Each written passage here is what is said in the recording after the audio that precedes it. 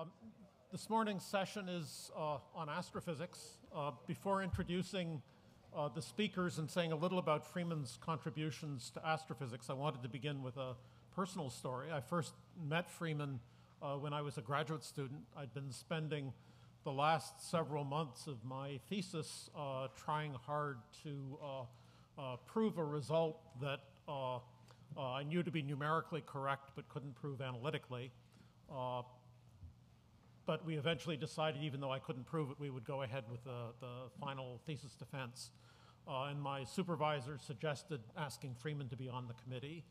He very graciously uh, uh, agreed. Um, the, I gave him the thesis. He read the thesis. Um, the exam went fine. I got my PhD, and after the exam, Freeman quietly came up to me, of course, with a few pages of paper, and said, Here's the proof. Uh, so I'm, great, I'm grateful not only for the proof, but uh, uh, for the fact that I passed. Um, and I've, we, we never wrote it up. I've always regretted that I didn't write a paper uh, uh, with Freeman on this, not because the result was particularly important, but it would have dramatically reduced my Erdős number. Um, Freeman's contributions to, to, astrophysics have been uh, really quite remarkable in their scope. He's placed bounds on the time variation of the fine structure constant from a natural fission reaction that, reactor that operated billions of years ago uh, in Gabon. He carried out a beautiful analysis of the physics and biology in a universe that would expand forever, um, asking the, the question of whether there were strategies that would allow a civilization uh, to continue life and communication and thought uh, for the uh, indefinite future. Sadly, this analysis is uh, no longer relevant in the current uh, cosmological model. Um, he made influential contributions to the early theory of uh, adaptive optics, the technology uh, which is only now beginning to mature that uh, will, is beginning to enable telescopes on the ground to correct for the distortion of starlight uh, from the atmosphere um, and enable them to surpass the performance of Hubble in angular resolution. I should say this is also a subject that uh, our speaker yesterday, Will Happer, uh, made extremely influential contributions to. Uh, Freeman's most important, I think, astrophysical contributions um, have been on the subject of life in the universe. Um, this is a very difficult subject to work on, of course, because we only know about life on Earth. And so any of our uh, theories and speculations are subject to extreme uh, selection bias. Uh, nevertheless, Freeman has regularly uh, devised simple and elegant arguments that have uh, dramatically expanded our understanding of the variety of forms that life might have and suggested novel strategies to search for it. Uh, the first of these ideas uh, was a suggestion in 1960 that Malthusian pressures on advanced technological civilization might lead it to convert all, all of the mass in one or more of its uh, planets into a structure that completely surrounded the host star and absorbed all of its radiation. Uh, the importance of Dyson spheres, um, in particular, is that the waste heat generates a detectable astronomical signature, a luminous infrared source uh, with a temperature of about 300 Kelvin. Um, but more importantly, that the, the properties of that source depend only on physics. Um, it doesn't depend on the psychology of the uh, civilization, and in fact, even if they wanted to hide the source, uh, there's no way to do so. With current technology, we can search for Dyson spheres around a million or so of the nearest solar type stars. Uh, so far, there are only a few candidates. None of them is compelling, but there's another factor of 10,000 uh, stars left in the galaxy that we should still look at. Uh, Freeman has suggested that uh, asteroids could be colonized uh, by genetically engineered plants that uh, grow their own greenhouses. Uh, he's suggested that uh, giant impacts uh, could eject uh, water and life from the subsurface oceans that we believe to be present on Jupiter's satellite Europa, so that the best way to look for life on Europa um, is to send a Jupiter orbiter to look for freeze dried fish. Um, he's, uh, he's pointed out that um, the best place for human colonization in the solar system may be the Kuiper belt of uh, uh, icy bodies uh, outside Neptune.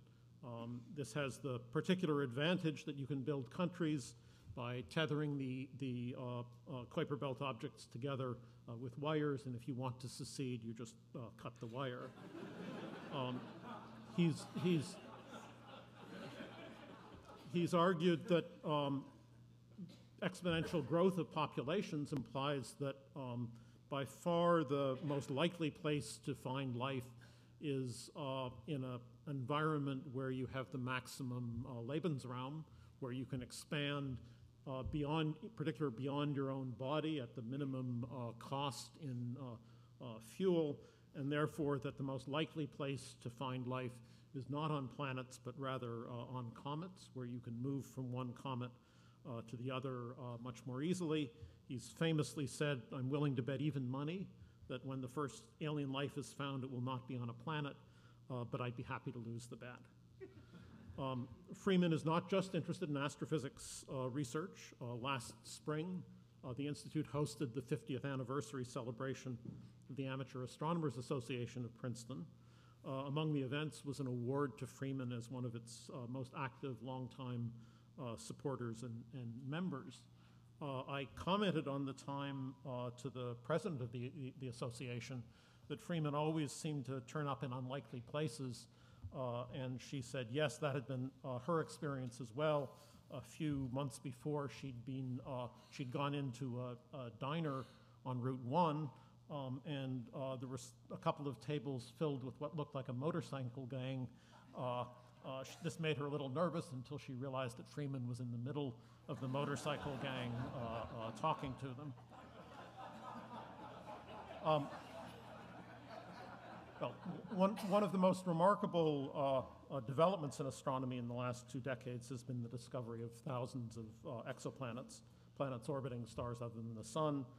Uh, given Freeman's interests, uh, it, we didn't have to be rocket scientists to figure out that we should have a speaker on this subject. Uh, and our first choice was Sara Seager.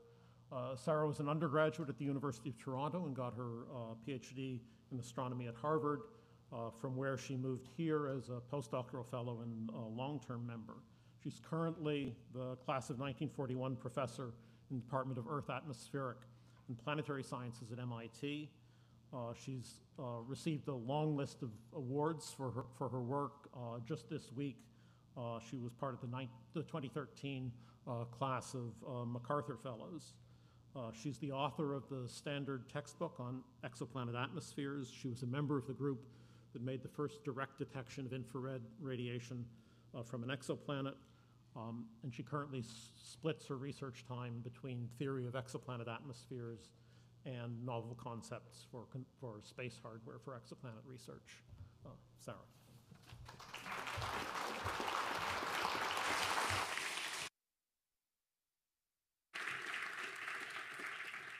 Well, good morning, everyone. It's great to be here, and you sound like a great audience.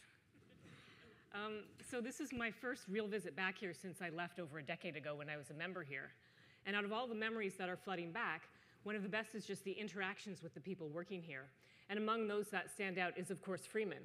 Now, Freeman often, um, it seemed like a lot, he joined the astrophysics table for lunch. And just yesterday, I was talking to a former physics member who seemed a little envious of that. You seemed, in his view, you were at the astrophysics table more often than you're with the other postdoc tables. Um, but Freeman um, often would ask us about our work, or he'd tell us what he was working on. And I always just loved his incisive, humorous, and sometimes sarcastic comments about things. And I just want to say it was just so great to have so much casual time with Freeman. So thanks, Freeman, and happy birthday. Thank you. And I'd also like to say that here I see um, some of the Institute trustees and friends of the Institute and board members, and it's good to see you too. And I think some of you will remember that I gave a talk to you about a decade ago. Now, I'm pretty sure you're not going to remember the details of the talk, but I hope that you'll get the point that a lot of the things I talked about then were here's what I'm working on, here's what we'll do in the future. But now I'm back and I'm telling you all those things that I talked about. We're actually doing them all right now. And I hope that you can keep that in your mind as I go through my talk. So here's what I'm going to talk about. And just so we're all on the same page, because occasionally I do still meet a person who hasn't heard of an exoplanet, I'll just start in the simplest way possible and say that you know, every star in our sky is a sun. And if our sun has planets, we would naturally expect that other stars to have planets also. And they do. We have nearly 1,000 what we call confirmed exoplanets, thousands of more planet candidates. And astronomers have found, statistically speaking, that every star in our Milky Way galaxy should have at least one planet. Now, after all that hard work, we have found that our, here's a schematic of our solar system. Our solar system is somewhat rare. Because we've found so many planets and been able to do some statistics, it seems that it must be less than 1 in 10 sun-like stars, or maybe 1 in 20 sun-like stars, could have a um, planet, could have a planetary system like our own. Now, our own solar system is quite hard to find compared to what we have found so far, so we still have to wait to really be certain about that. But what we have found is just a truly astonishing diversity of exoplanets. They've been found at nearly all sizes, all masses, all planetary planet star separations, planets having years or periods less than a day, planets that uh, may be so far from the star we're not even sure they're bound to their star. And I just wanted to tell you about a list of a few really um, exotic planets. My, one of my favorites are these so called super Earths, rocky worlds that are bigger than Earth or more massive, that are so close to the star that we, they're heated from the outside, and we think that their surfaces must be so hot that they have liquid lava oceans. Not from volcanoes, but just because they're heated so much from, from the outside. Another favorite planet um, is there's these, a lot of really low density planets out there. And we're thinking, at least hoping, that some of them are so called water worlds. This is still a theoretical idea, but we hope to prove it someday, where they would be planets that are 50% or more mass, um, water by mass, like uh, Jupiter's icy moons, but a scaled up version. And those ones are interesting because the hotter ones, um, they could be water having thick steam atmospheres. And as you think about traveling down into the surface and the interior of the planet, they wouldn't have liquid water, they're too hot. But they would have a layer of superfluid water. And then even below that, some kind of um, high temperature water plasma. Um, and so that's actually a planet that we're excited about. Other interesting things to mention are planets that orbit two stars, circumbinary planets. And it's interesting to think about life and habitability and what it would look like in the sky on those planets. Also, astronomers have found compact multiple systems. That is, think about five planets in a system, in a plane, all orbiting interior to what would be Mercury's orbit in our planetary system. And they're not all rocky planets either. Some of those are those low density planets I mentioned. Now you can see this list could go on like literally forever. And it's just so astonishing. I just wanted to convey to you at the beginning how diverse um, these planets are. And many of those examples I gave you are from the Kepler Space Telescope, no longer functioning, but it has just a legacy for exoplanets. So um, just to finish this introductory part of my talk, I want to tell you about my favorite example in exoplanets from the last um, decade, and one that, when I was giving my talk to you 10 years ago, I never would have been able to imagine. And that is the question of what is the most common type of planet out there. We, um, I used to personally think it would be like a Jupiter size or Jupiter mass planet. And you know, we used to use the um, sort of analogy of like Microsoft. Like you have a company that grows uh, so big and kind of sucks up a lot of the things around it, so there can't be another really big company like it. And was our analogy for Jupiter and Jupiter formation. It would start to form and just gravitationally capture all the material around it um, and uh, not really leave room for something else. But in this figure here, it's a diagram, a bar chart showing you the fraction of stars with planets. They're somewhat short periods, less than 50 days, but there's evidence from um, other exoplanet data sets to show we think this also holds for longer periods. And you can see this bar chart here. At the bottom, it's planet size relative to Earth. And they said I had to use this because it's an LED screen. So look at this. These ones are low here. 11.3 times the size of Earth. This is about Jupiter. Jupiter-sized planets would be here on the chart. And look over here. Neptune would be about here. And these are the small planets, two Earth radii. So two Earth radii planets, it turns out, are something like a factor of 10 times more common than a Jupiter-sized planet. And what is so cool about this result is that we don't have any solar system counterparts of planets between one and a half and two Earth radii.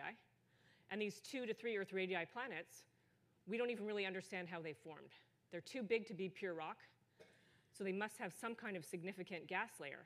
But remember, they, they somehow got, their growth was halted. Uh, we're not really sure, we don't have a consensus on how they formed. So I wanted to leave that one thing with you that you could take away. Remember this part of my talk, and you could tell your friends and your family and your children the most common planet in our galaxy is something small, and it may well be these planets, we don't know how they formed, and we have no solar system counterparts. So, out of all the stars and all the planets out there, the ones that we're most interested in are the planets that could be habitable. That is, they could have life on them. And there's a big push in this direction now. And so, the next part of my talk, I'm going to uh, tell you a few things about the habitable zone. Now, here, um, the way we like to think about this, it sounds somewhat conventional, and in the question period or after my talk, I could answer more details for you. But we are somewhat terracentric. All life on Earth requires liquid water. So we'd like to find a planet with surface liquid water. And rocky planets with thin atmospheres are heated from the outside. And so we're thinking they're heated from the star, and that dictates the surface temperature with the sort of greenhouse stuff that I'll come back to. And so um, we want to find planets that are a certain distance from the star, not too hot, not too cold, but just right for water, just right for life, and we call that the habitable zone.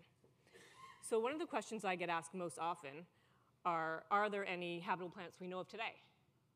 So there's a website you can go to, and they, it's current potentially habitable planets. You can see here there's like a dozen of them. They go into some kind of detail. And um, I'll just let you think about this for a second. But I know there's at least one person in the audience who's paying attention to what is hype and what is science.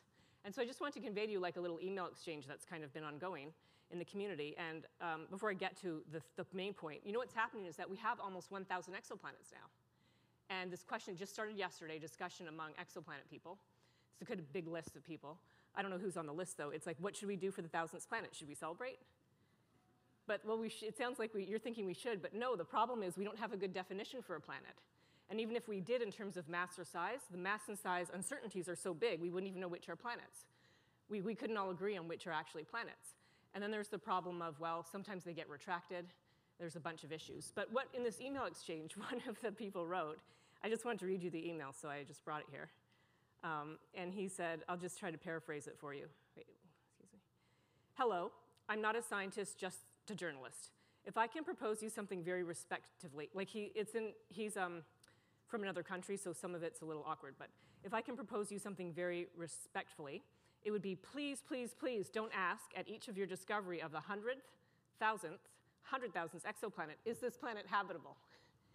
Um, is this planet situated in the habitable zone? Is it possible that around this non-habitable planet there's a habitable satellite, et cetera, et cetera, et cetera? And so what he's getting at here is that you know, if you read the news and you're paying attention, um, it seems like there's a habitable planet discovered like every week or every month. And that's what he's saying. So it was so, it was, I wanted to share that little story with you because it's good. I'm glad the journalists are now realizing that they're not all habitable. We don't know. We don't have enough information. This is just artist conception. We don't have a picture of planets like this. We see them indirectly.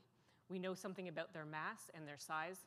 We don't know, um, we know how much radiation is falling on them, but we don't know any more details than that. We'd have to know something about their atmosphere and the greenhouse effect to know whether these planets have a surface that's really reasonable.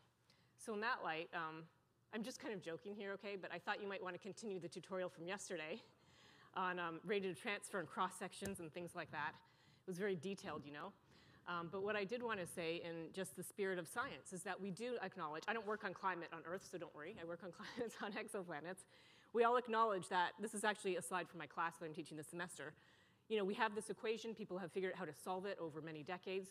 This describes how radiation gets absorbed and re-emitted in the atmosphere. We have numerical techniques, we have computer programs, and it's really all, a lot of the input physics that we don't understand.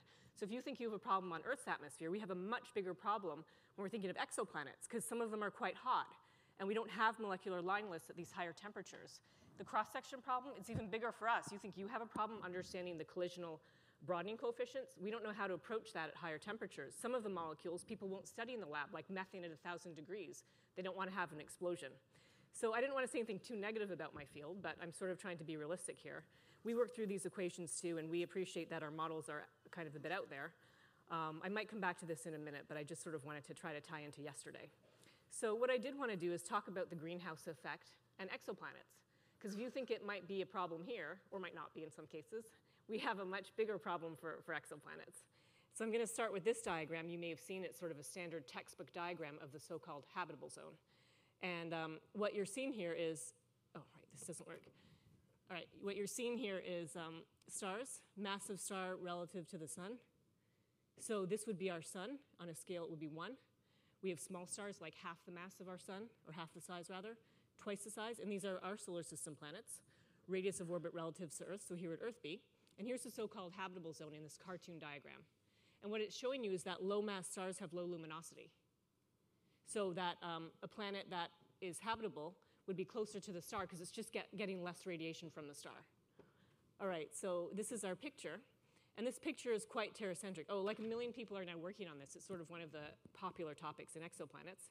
What, the way it's described is that on the one side, we have runaway greenhouse. That is, if, Earth if a planet is too hot, um, the water vapor will fill the upper parts of the atmosphere. It will get photodissociated with hydrogen escaping to space, and you would just get a runaway effect and lose all the water, and the planet would, by our definition, not be habitable.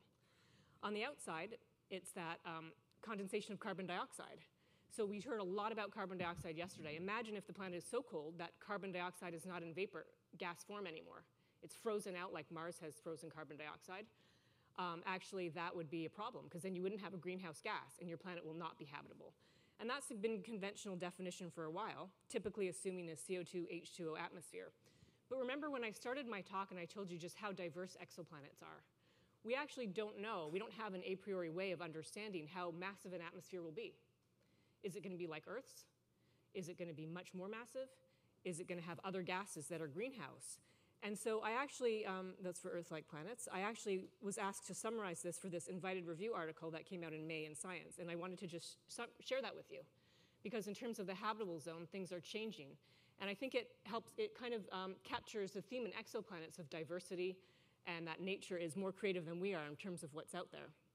So this diagram, it looks like the other one, um, but the curves are actually real models now put on this diagram. The planets, those little marks are actually planets.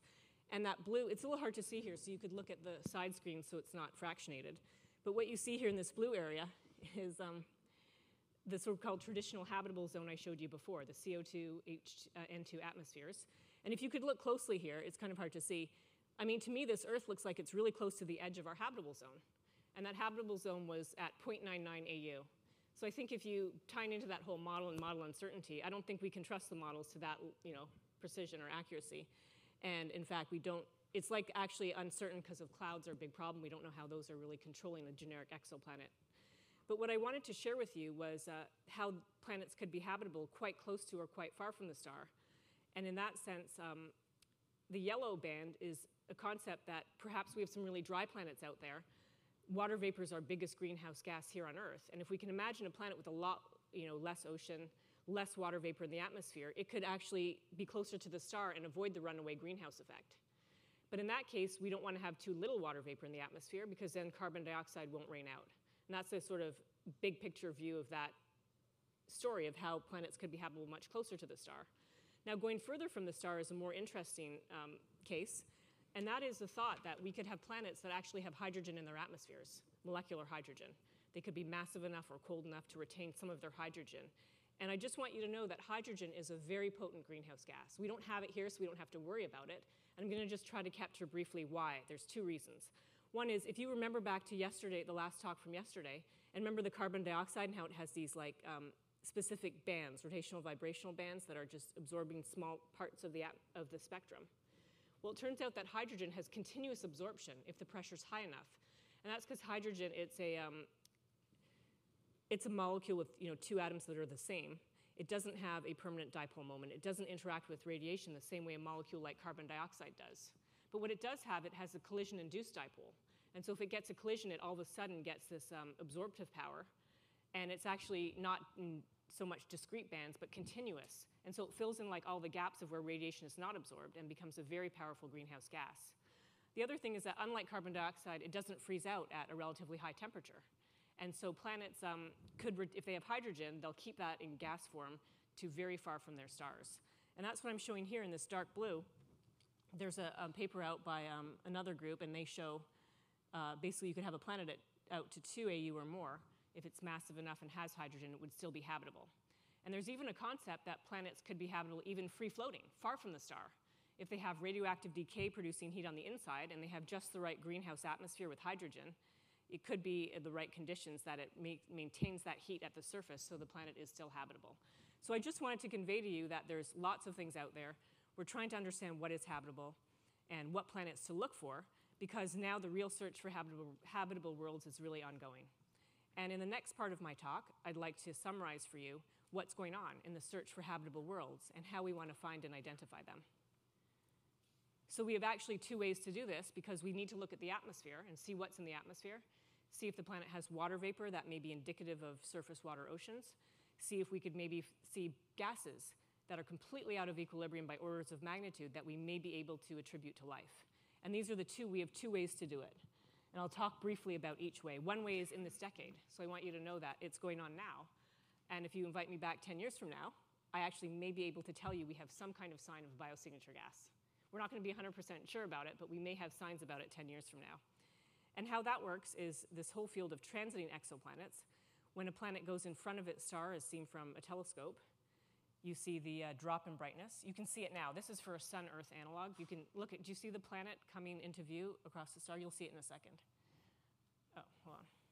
I was going to say, unless we had bad luck and it goes right in the, um, where the crack is in the screen. yeah.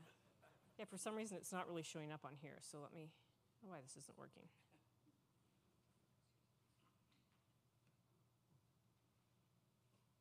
That's what I said before I started my talk to the people in the back. I said, one thing will go wrong, I just don't know which thing it will be. okay, well, it's supposed to show you a little dot going across here. You can see this movie thinks it's actually playing, so I'm not sure why it's doing this, but let me just describe what would happen. Um, you know, I'm just going to try one more thing.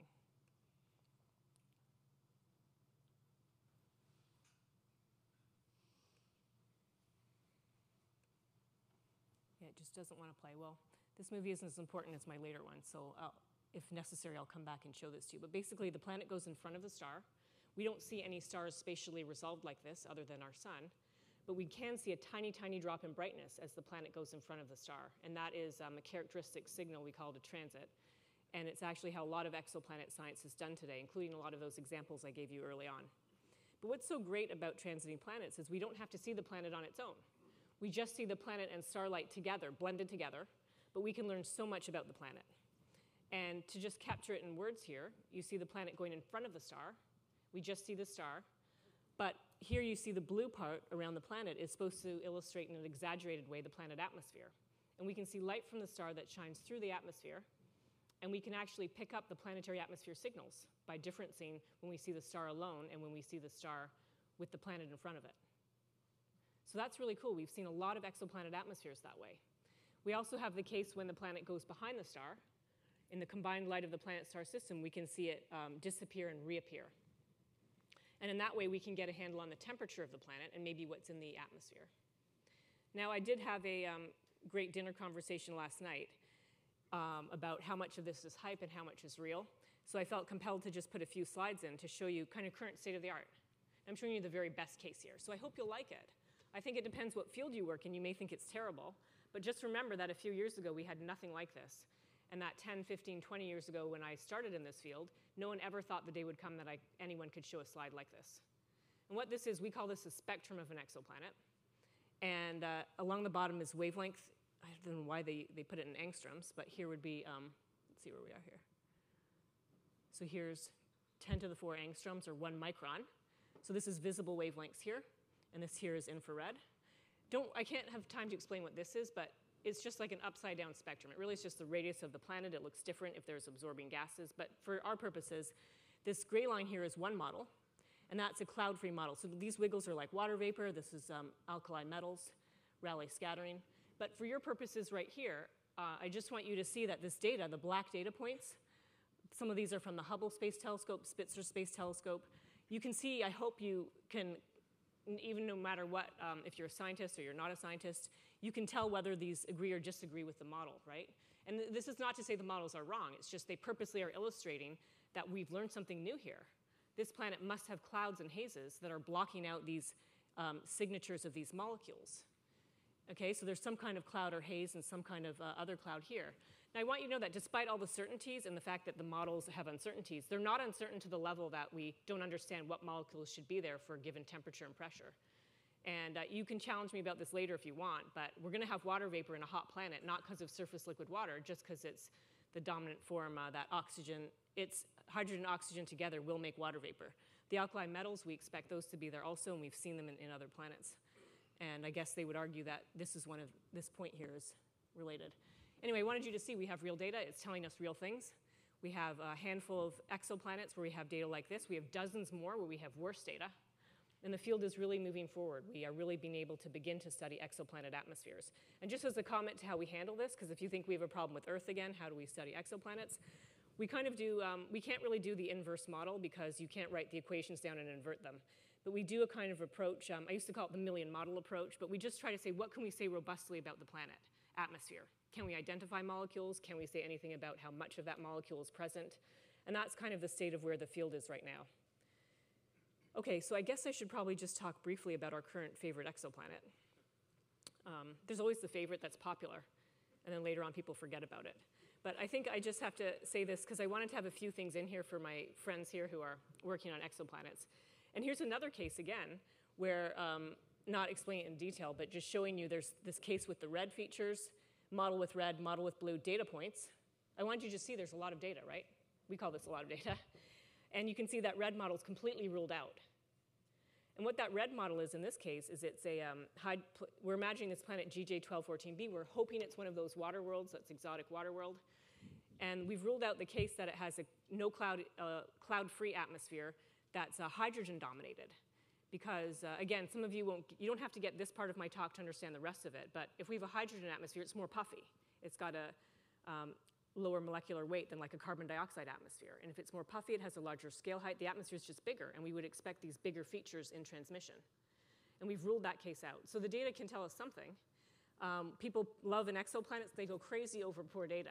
I can't tell you how long my, one of my students, and partly myself and others, well, I, I had already done this in the past, so I don't do it now, but we're saying, oh, is this something real? You know, this little feature here, is this showing you that there's some kind of water vapor that's a smaller feature? So people spend forever. And right now, this very planet, there's two papers being refereed in Nature um, about what's, oh, it had some kind of problem. Okay. Well, that's two problems that I didn't anticipate, so let's start again. Um, all right, so maybe the movie will work this time. you don't need to see that movie. Okay, so where are we here? All right, well, anyway, I just wanted you to know there's a real search going on. We're excited about this planet. Um, again, here's another plot. Look at all the colors. They're just showing you different uh, studies going on. Everyone who has a big telescope around the globe is looking at this particular planet. There's points on the curve. There's atmospheres being studied, and that's what I wanted to capture for you. So how does this relate to finding signs of life on other planets? Because these are all big planets. They're too hot. They won't have life on them. I was just trying to capture that there's real work going on in exoplanet atmospheres, and we have a real plan for the very near, what we call the near future in this field. And that is, um, we plan to find that is related to an MIT-led NASA mission. It's going to be launched in 2017. It's called TESS, Transiting Exoplanet Survey Satellite. Our PI is George Ricker. And here it's showing you a kind of schematic of it. It's got four cameras, um, each with a 23 by 23 degree field of view, 100 millimeter effective pupil diameter, and about a 17 megapixel camera on each one. They're all offset from each other because they want a very overall wide field of view to survey the entire sky for rocky planets transiting small stars. So TESS is going to look at 500,000 stars spread across the sky and try to find um, a pool of planets that are big Earths transiting small stars that we can look at their atmospheres with. Now, our current um, telescopes won't do the job, but we have a telescope that's going to launch in the future called the James Webb Space Telescope, and that will be able to follow up just a handful of rocky planet transiting small star atmospheres. So I just tried to convince you that we're studying atmospheres now, we're going to do this a second generation for the smaller planets with different set of telescopes, and we're excited about this. So now I'm going to get to my, um, this is pretty much my favorite topic right now, and that is the Earth twins. Because what I told you about transiting planet, it doesn't work for Earths. We can find Earth-sized planets that are transiting, but their atmosphere, this, think of an annulus atmosphere compared to the size of the whole star, is just um, too small. We can't go to that many decimal places in our work. So we would have to do something different. We'd have to what we call directly image the planet. We'd have to block out the starlight and search for planets directly. And I'm going to just try to capture that view in a few ways.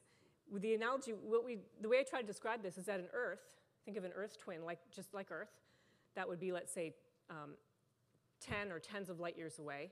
It's not fainter than the faintest galaxies ever observed by the Hubble Space Telescope.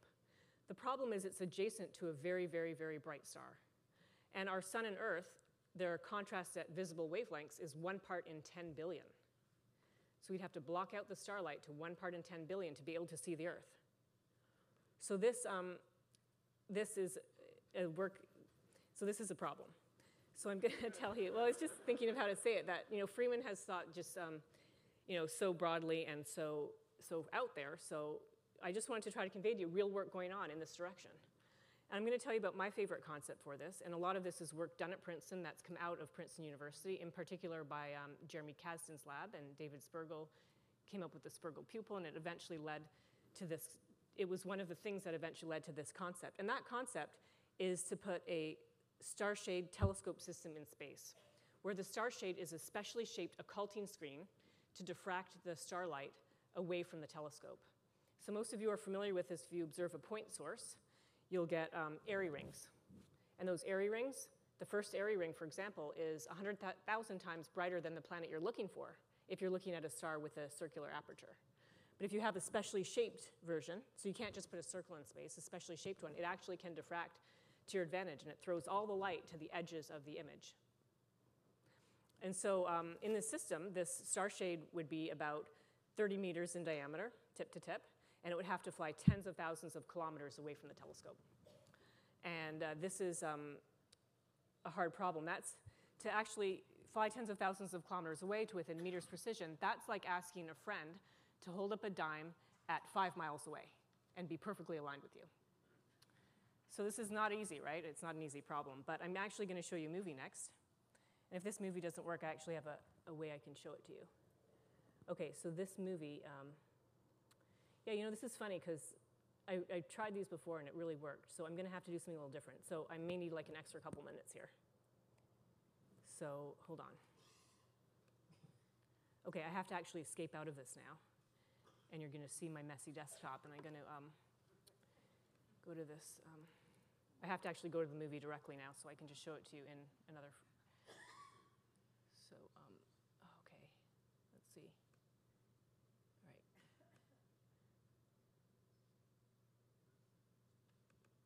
Okay, so I'm just going to open this movie and show it to you separately.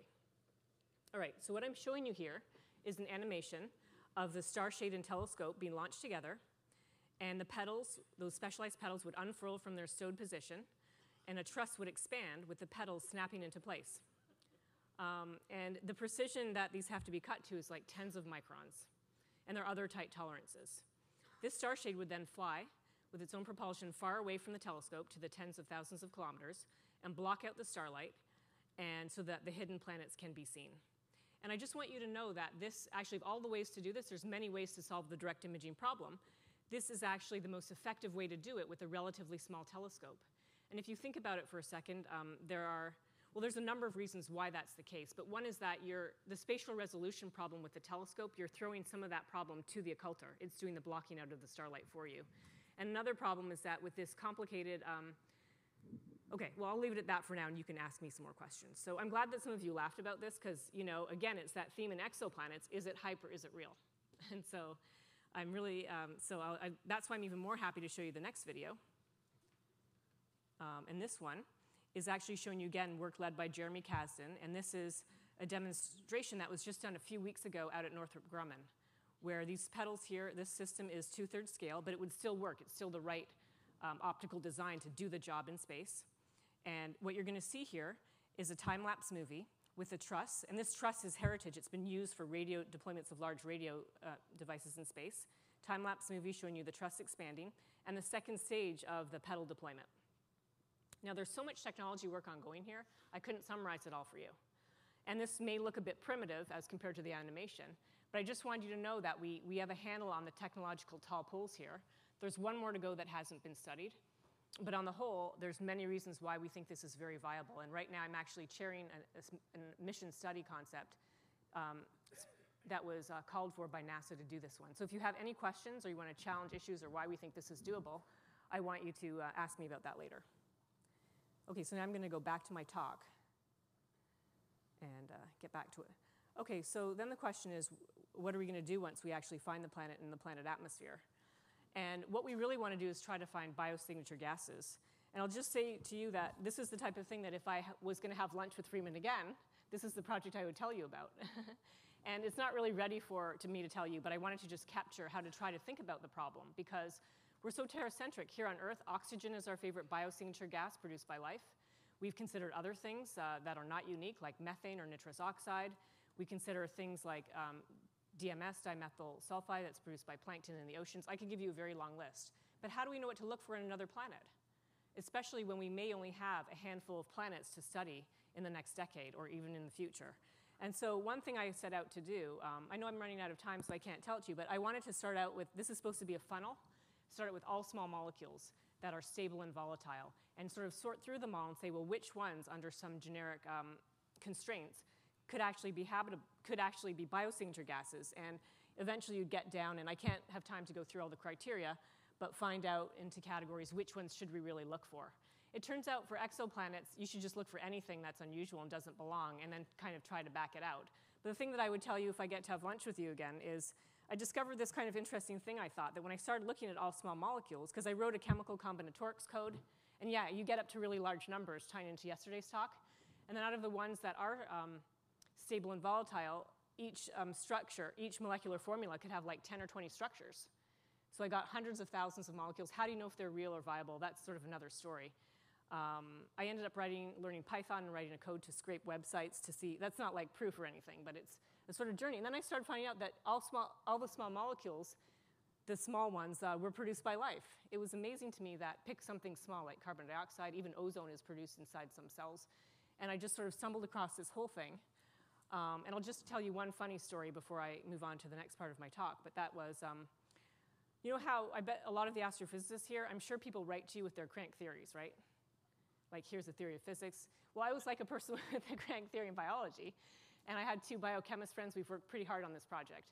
And we went to talk to um, a Nobel laureate in physiology and medicine, Jack Szostak. He's an astrobiology person. So I went to him with my theory, and he, he said I was approaching it wrong and it wasn't right, and it had this problem and that problem. But actually, it's, it's led to a whole other thing that I think is really going to flourish of understanding um, the sort of parameter, um, you know, space that biochemistry is moving through. And so I can tell you more about that later if you're interested. But, um, right, I'm going to have to cut this part of my talk so I have enough time. I was going to tell you about my model atmospheres and other work I'm doing in biosignatures that's a little more conventional and mundane. But for my astrophysics colleagues, you can just look at some of my work on um, AstroPH last week and, and read about it there. I did want to wrap this part of my talk up by talking about, um, just very briefly, about Dyson spheres. One of the times that we were having lunch with Freeman was the day that he was awarded the Templeton Prize. And so we got his firsthand reaction to that one. And I wanted to tell you, Freeman, if, in case you didn't know, but the Templeton Foundation now is um, sponsoring a study to search for Dyson spheres. And it's my good friend and colleague Geoff Marcy who's doing this. And he's doing it with Kepler data. So the concept is that there is a Dyson sphere. I couldn't show you the movie, but the transiting planets, if the planet is, um, if there is a Dyson sphere, the point is that we will see that the star brightness varies um, non-astrophysically. This is Geoff's slide, and these are his, his words. And I don't have time to go through some of his examples. He doesn't have any real examples, but the point is there's this exquisite data set of hundreds of thousands of stars, and it's a different concept from the one that Scott described of looking for infrared excess infrared, but it's really going on now. So I'd say that um, partly with a smile, but why not look for it? I mean, there are actually such great data sets out there. So for the last part of my talk, um, I'm going to skip this. I wanted to just address something to you um, about what I call the small satellite revolution. And before I start, how much time do I have left here? Five minutes. Okay, that's enough time. Um, because this field of exoplanets has been just completely crazy. When I first showed up here as a member in 1999, like literally most people in the world thought it was a field that would absolutely never happen. Um, my mentor then, John Bahcall, he believed in it, and I just wanted to. Uh, he believed in, in he believed in the concept that if you had a great idea and you could back it up with physics and it was doable sometime in your lifetime, then you should absolutely pursue it. And that to me like embodies the spirit of the Institute and the people that work here. And that's the one thing that I carry with me pretty much every single day.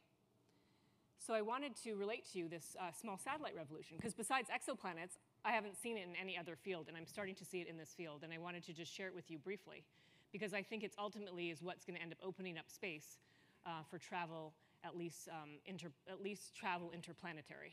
And that is this field called CubeSats. And I was going to tell you about my own project, but I'll leave that out for now, just in the spirit of getting things together. Um, but what CubeSats are, are there these, there's a, for those of you that don't know about this field, you know the phrase three peas in a pod. I like the phrase for this one, um, three CubeSats in a pea pod. CubeSats are 10 by 10 by 10 centimeter um, satellites and you can put three of them in a standardized deployer, and they're getting launched on, you know, over a dozen or more different launch vehicles. They're launched um, on a P-pod that's shown here, um, bolted to the upper stage of a rocket. Can, it's kind of hard to see here, but these are the 10 by 10 by centimeter units. And so what, they've done, what this has actually ended up doing was it gives you cheap, frequent access to space. it gives you standardized platforms. So now when you talk about heritage components, it's not just a component that has to be redesigned, it's actual hardware that has flown many times. You just buy it kind of like glorified Lego. I'm pretty sure that most people in this audience, if you wanted to spend tens of thousands of dollars on the satellite and another 50,000 on your launch, you actually could build something and talk to it. You could just program it, you could learn how to do it, and it would be no problem. But what it's ending up doing is um, it releases the traditional barriers to space, including risk and cost. It is allowing all sorts of nations to participate in space that hadn't before. But the best thing is that um, it allows you to test new technology. So you can go up there cheaply and easily and stick some new technology in this system that you know you've just bought the rest of the components for. So people want to test stuff like proximity operations, new types of micropropulsion, novel communication systems.